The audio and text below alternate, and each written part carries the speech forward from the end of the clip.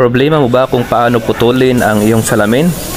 Bueno, meron na ngayong makabagong mga talim na ibabala sa grinder para putulin ang salamin kagaya ng makikita niyo sa screen.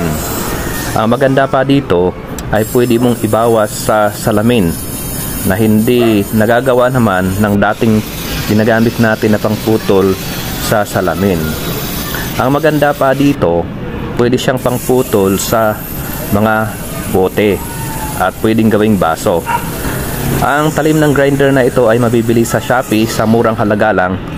50 pesos lang yung bili ko sa uh, talim ng grinder na ginamit ko sa pamputol sa salamin na mga yan.